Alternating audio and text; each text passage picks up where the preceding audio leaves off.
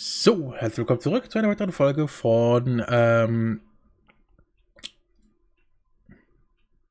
ATS, genau. Ähm, so, mal gucken hier.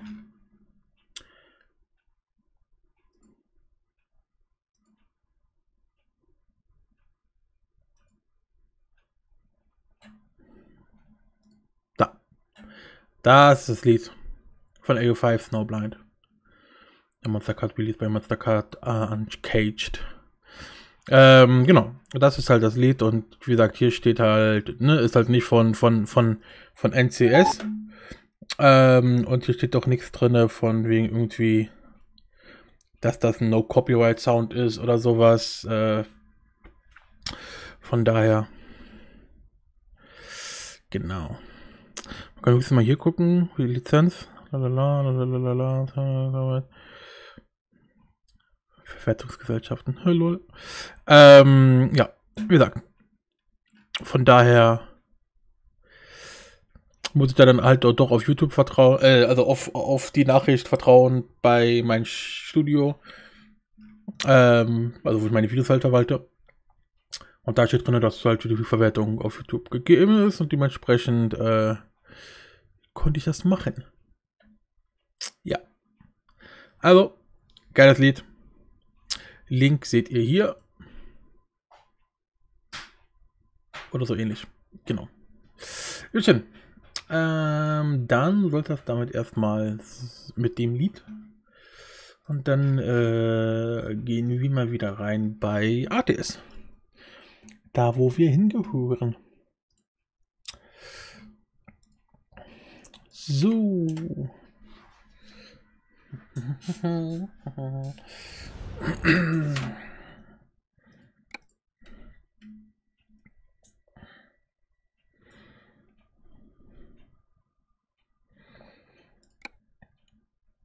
Bin mal gespannt, wie viele Kilometer wir jetzt noch immer noch vor uns haben. In der vorigen Folge hatten wir irgendwie äh, 700 noch was, ne? Jetzt haben, haben wir immer noch 500 noch was. Ah ne, oh, da haben wir wirklich noch in der Folge.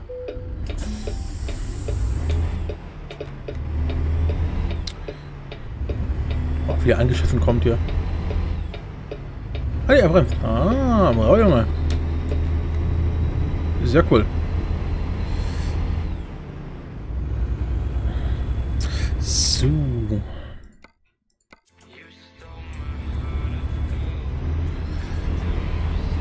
Ich meine, vorige Folge mussten wir relativ, naja, langsam fahren, weil wir da bei dem einen Stück zu weit gefahren sind und dann über die Nebenstraßen wieder auf die Autobahn rauf mussten. Dann haben wir auch noch gepennt und so. Das heißt, wenn wir da schon 350 Kilometer geschafft haben, äh, Meilen, dann sollten wir es jetzt auch locker schaffen.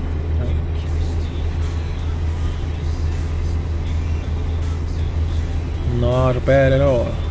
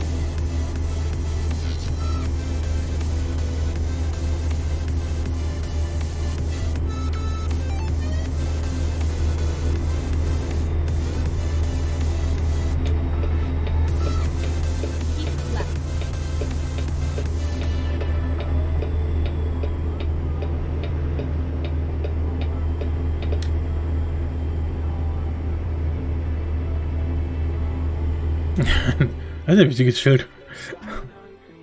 Lol.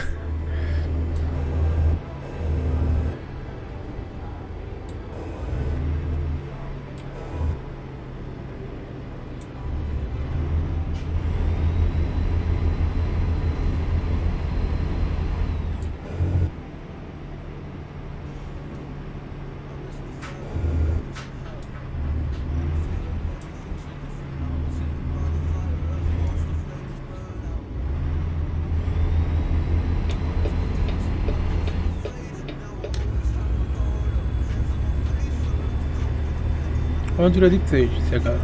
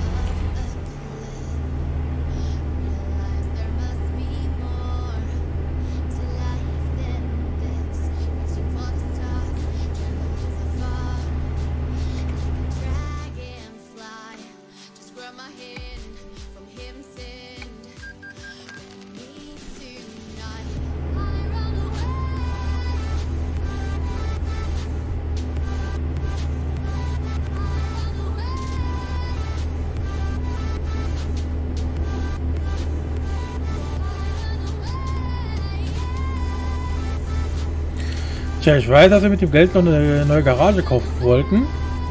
Aber ich weiß gar nicht mehr wo. Oder hatten wir schon eine Garage und wir mussten nur LKW kaufen? Ne, genau, wir haben fünf LKWs. Äh, Garagen mit je fünf LKWs, genau. Ähm, das heißt, wir wollten uns irgendwie noch eine Garage kaufen. Da muss ich mal in eins der alten News reingucken, wo das war. Oder hatten wir uns noch gar nicht entschieden gehabt? Hm.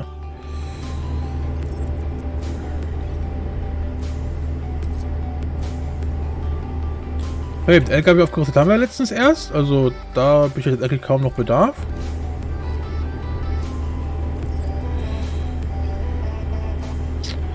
Aber eben, langsam können wir uns mal eine neue Garage zulegen.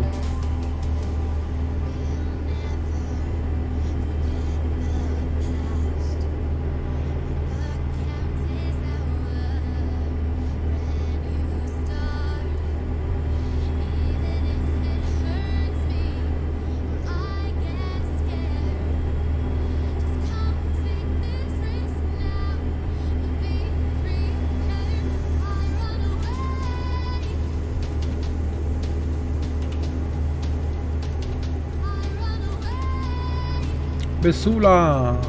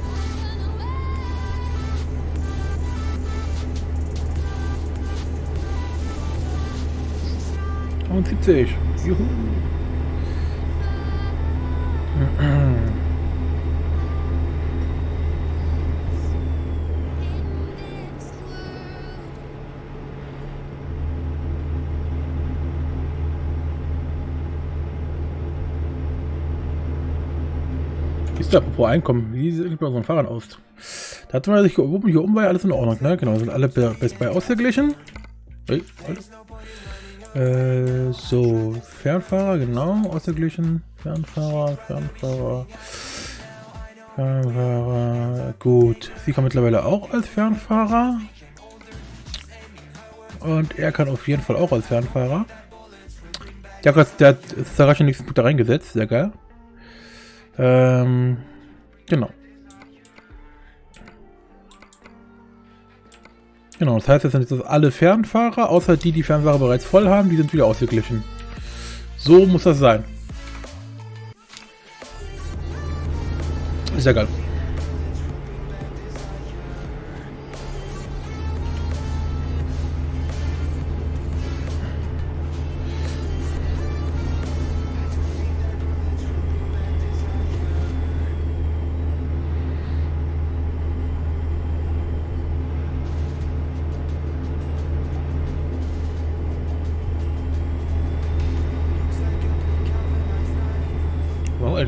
Ruckler drin? Das war gerade ein richtiger Freeze kurz.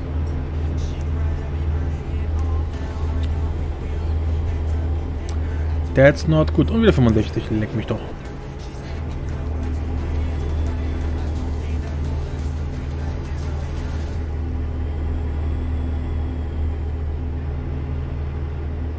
Es wird langsam dunkel. Könnten wir noch mal pennen gehen? Ja, locker. Cool.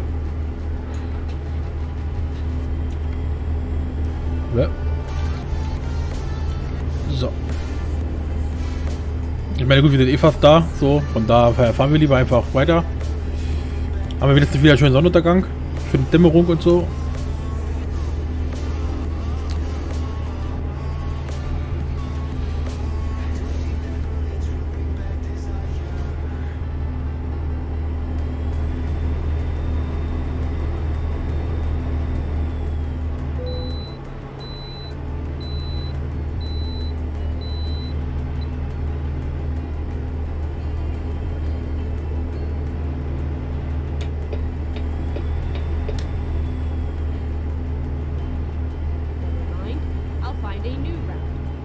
Oh, ist ja einspurig. Warum einspurig?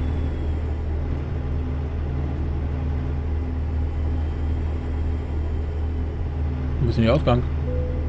Hä? Oh! Da war der Ausgang. Ups.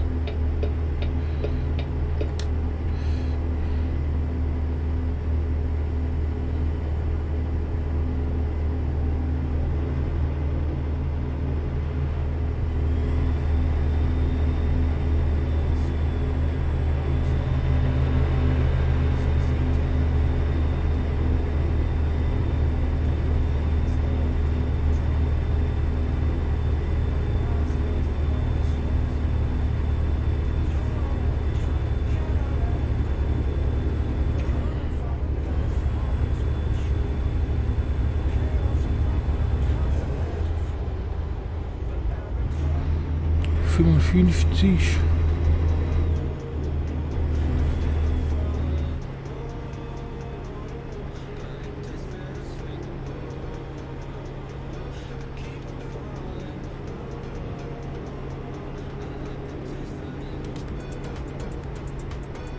Idaho. Welcome to Idaho.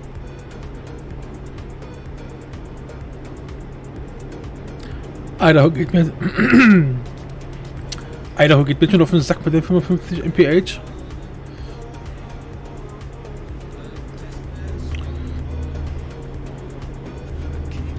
Na gut, hier ist ja Riacho kurvenreich. Hm, vielleicht deswegen.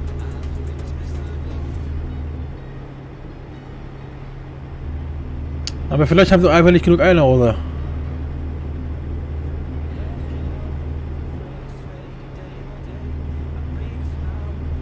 Alter, wirklich hat so viele Kurven.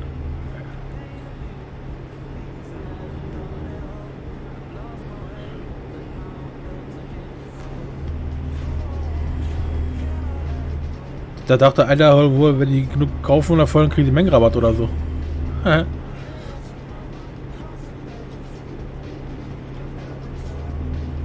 so, noch 60 Meilen.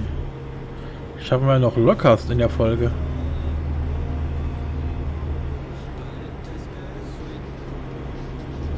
Da vorne? 60. Ah, cool.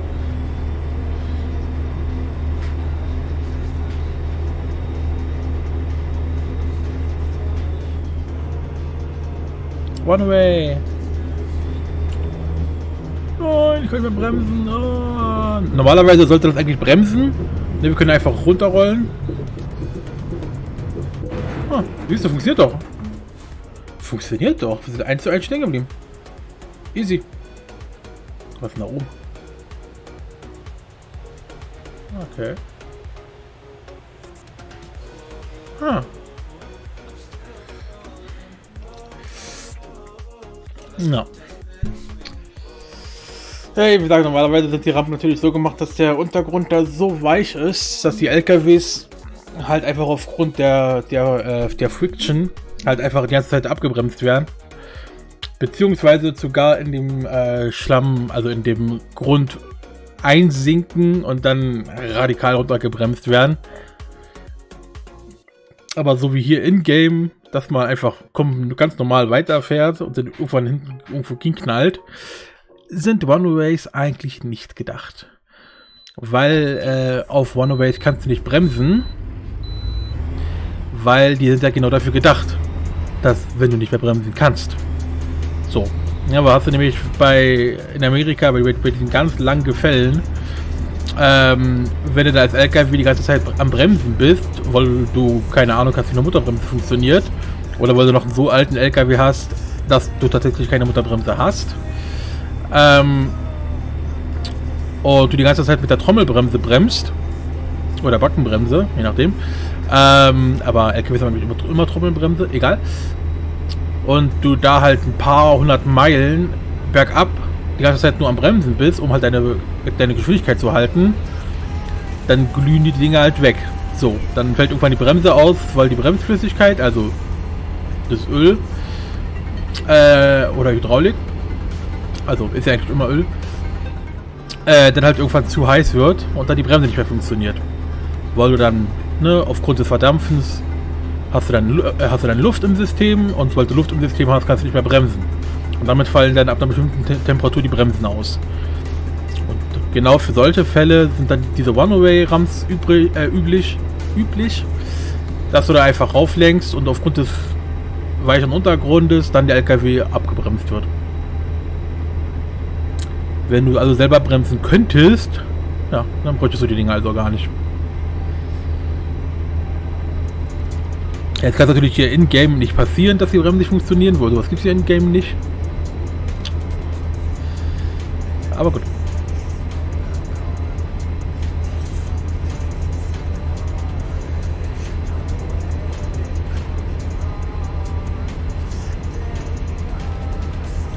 Und ja, die One-Ways sind tatsächlich äh, destructive. Also so ein LKW kann dabei auch mal mindestens die Karosserie zerstört werden. Das Fahrgestell eher weniger, kommt auch vor. Aber mindestens vorne dein Frontspoiler, hier unten das Ding, das äh, ist in der Regel danach ab. Aber man sagt sich, lieber wird der LKW ein bisschen von der Karosserie her beschädigt. Oh, oh Alter, wir werden zu schnell. Ähm, lieber wird der LKW ein bisschen beschädigt, als dass du und andere Verkehrsteilnehmer sterben, weil du nur mit 300 Meilen pro Stunde da irgendwelche Berge runterkurfst. Und dann ab über die Klippe oder irgendwie so. Ja.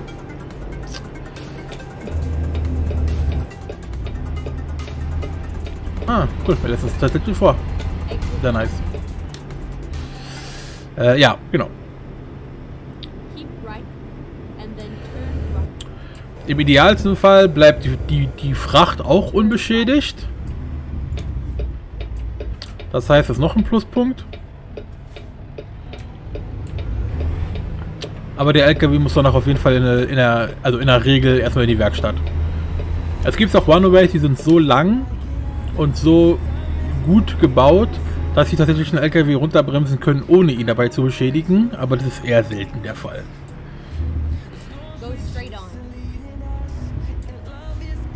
Weil es gibt halt verschiedenste Systeme, wie du so ein Runaway bauen kannst. Die meisten haben halt wirklich einfach nur einen weichen Grund, wo du drin ein bisschen versinkst. Äh, es gibt aber auch, zum Beispiel Runaways, die haben wirklich einen harten Grund und dann hast du über den gesamten, äh, über die gesamte Länge irgendwelche Wasserfässer aufgestellt. So wie du ja auch bei, bei bestimmten Abfahrten von Autobahnen hast. Dass du da einfach so eine Plast Plastikfässer drin hast, äh, Plastikfässer zu stehen hast, mit Wasser drin, so. Und dann ja, einfach die Dinger wegkachelst und aufgrund des weichen Ziels dann halt durch das Wasser halt runtergebremst wirst. Aber auch das ist natürlich destruktiv, weil da leidet natürlich auch deine Front runter.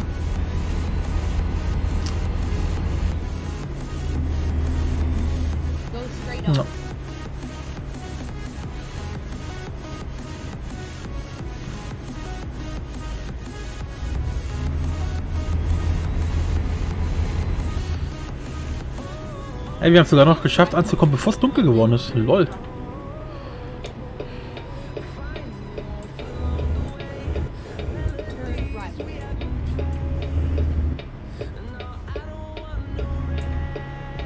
Ja, schauen wir. Ja. Dazu wir nehmen jetzt die Laterne damit oder die Ampel.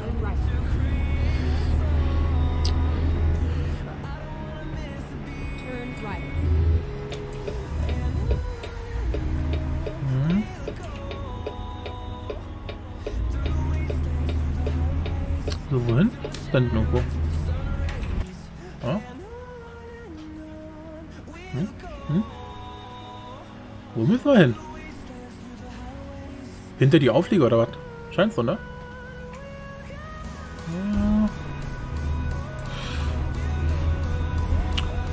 Oh, voll, voll der schöne äh, Personenzug.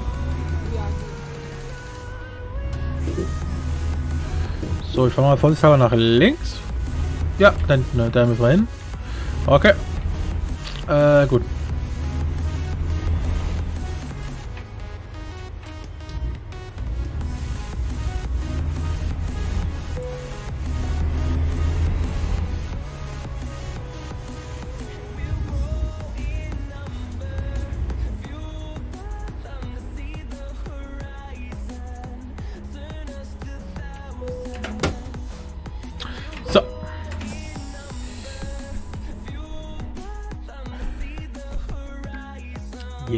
Yeah, ausgezeichnet.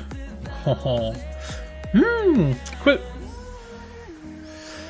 Und wir haben einen Punkt, da machen wir das mal noch fertige Fracht rein. Let's go. Äh. Ja, ne, okay, bis haben wir, haben wir wieder noch ein.